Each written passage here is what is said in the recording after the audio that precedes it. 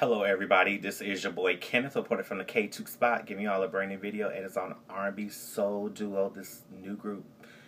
These beautiful ladies, their names are Chloe and Halle. And this review that you guys are watching is me reviewing their EP called Sugar Symphony. Now it's five tracks of great music, and you guys are going to be very pleasantly surprised who signed them to their label. They're signed to Beyonce's label, Parkwood Entertainment. Yes, I'm talking about the Beyonce Knowles Carter, who you guys know the superstar. Uh, so just in case if you guys are wondering if Chloe and Halle are great, they are. If you got Beyonce son being one of the first acts of Beyonce's label, Parkwood Entertainment, you know you're doing something great. Now I'm gonna get straight into this review because I know everybody wants to know are these girls amazing? They're sisters and they're twins and they are beautiful young ladies who sound so amazing. It really blew me by surprise.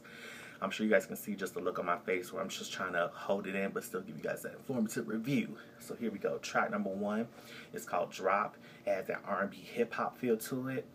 And I'm sure you guys probably seen the music video. If you haven't already, make sure you check it out on their Vevo channel on YouTube. And that song, I can let you guys know, will really get you guys like hype and just be like, wow, these young ladies are really great. But when you get to track number two called Red Lights, it has that dance, pop, R&B feel to it. But when you get to track number three called Lazy Love, they really had me going because I'm like, okay, I'm grooving to it. I'm like, okay. Like I was bouncing my head, bouncing my um, you know, my neck and everything. I was like, okay, these ladies really are giving me just organic feel, and they kind of really. I know everybody's saying, how can I think of their sound like Lauryn Hill meets Sade? That's just how, and like Enya, they give me that type of feel. That's just how they have. It's just like meaningful lyrics. The beats and are just amazing. And when you get tracks like Thunder, where I feel like it's very edgy, but I feel like at the same time the ladies really sold me onto it. And then when you get track number five called Fall, that ends the EP. Let me let you guys know, Fall is like the icing on the cake. And I'm gonna let you guys know it really had me wanting more because even though I know it was five tracks of this EP, I wanted more from this EP. And I don't mean that in a bad way. I mean in a great way. It made you want more. I know the continuation of it's gonna be. But Chloe and Halle, they are amazing. If you ladies are watching this, I'm a fan of yours, and I saw the music video to drop.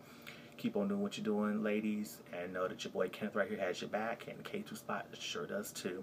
And I know a lot of you guys are wondering, do they have anything where you could check their stuff out? Their website is um, ChloeandHalle.com. That's their website. And if you want to keep up with them, they are on Twitter and Instagram at Chloe and Halle, and it's C H L O E A N D H A L L E. That's their Twitter and their Instagram.